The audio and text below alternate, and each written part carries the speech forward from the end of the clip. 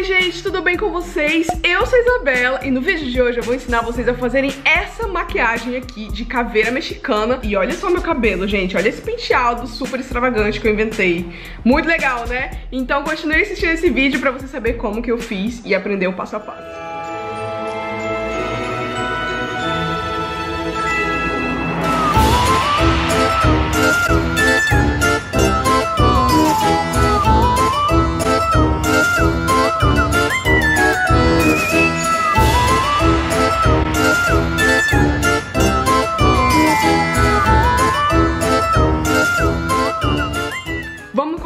maquiagem, então, gente, vou começar pintando a minha cara toda de branca, né, pra parecer uma caveira.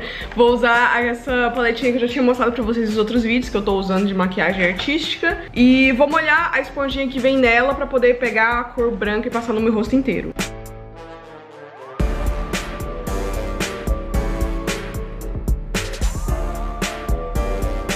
Primeira parte tá pronta, que é passar é, a tinta branca na cara inteira. Acho que faltou passar um pouquinho aqui perto do meu cabelo, né? Pra depois não ficar aparecendo. Agora a gente vai fazer o círculo preto ao redor dos dois olhos. Peguei aqui o pincelzinho e vou pegar também a tinta pra passar ao redor dos olhos.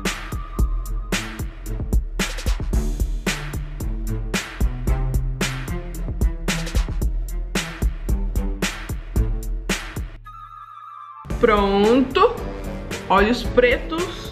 Tem que esperar secar agora. Enquanto isso, vamos fazendo o nariz. Eu vou usar um delineador pra desenhar, pra ficar um pouquinho mais preciso, né? O nariz, na verdade, você pode fazer do jeito que você quiser. Você pode inventar o desenho que você quiser, desde que ele seja geralmente informativo triangular assim. Você pode brincar à vontade. Então eu vou tentar fazer um design aqui diferente, mais bonitinho. Vamos ver se tá certo.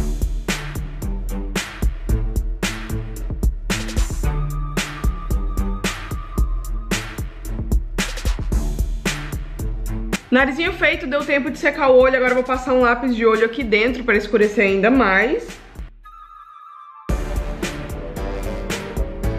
E vou passar um rímel para dar uma destacada maior no meu olho também. Agora vamos para a parte da boca, vou passar a tinta preta na boca como se fosse um batom mesmo. Se você tiver um batom preto, pode passar o batom. Mas eu não tenho, então vou passar a tinta.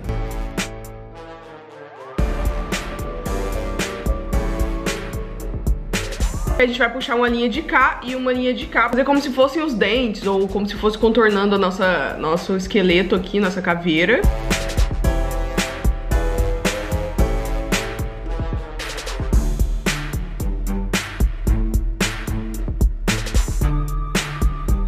A última coisa dessa parte de desenhar com o preto, com o delineador que a gente precisa fazer é fazer alguma coisa aqui na testa, porque aqui tá tudo ok, mas aqui na testa tá vazio ainda. Então eu vou tentar fazer algo bem legal na testa pra ficar delicado. Já vi gente que faz tipo uma teiazinha de aranha, tem vários modelos na internet que você pode pesquisar, mas eu vou tentar fazer um diferente.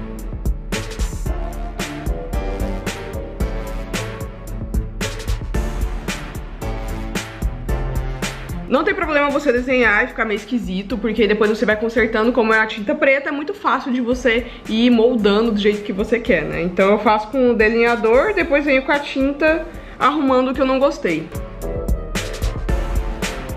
queixo, já vou começar a usar cor. Eu vou pegar a cor vermelha, por quê, gente? Poderia ser qualquer outra cor, mas o meu feed no Instagram tá laranja. Inclusive, me segue lá, é arroba. Então eu quero fazer um vermelho pra ficar próximo do laranja, eu poder postar a maquiagem lá e ficar legal. Então, eu vou pegar a tinta de cor vermelha, fazer esse desenho no meu queixo como se fosse de uma flor.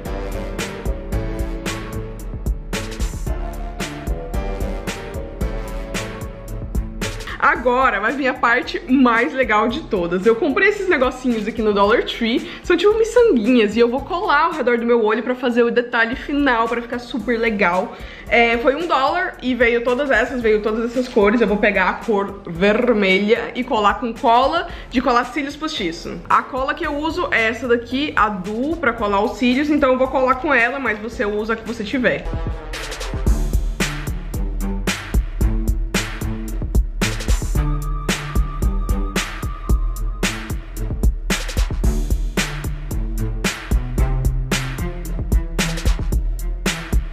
Tcharam! Tá pronta a maquiagem, gente. Olha isso.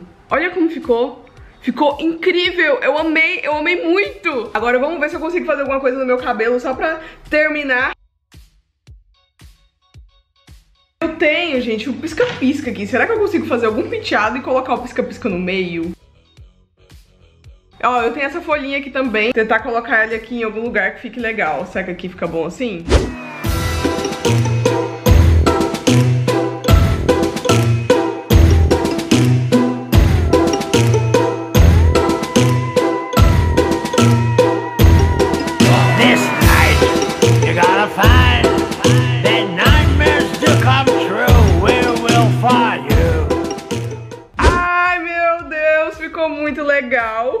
Eu amei, eu amei.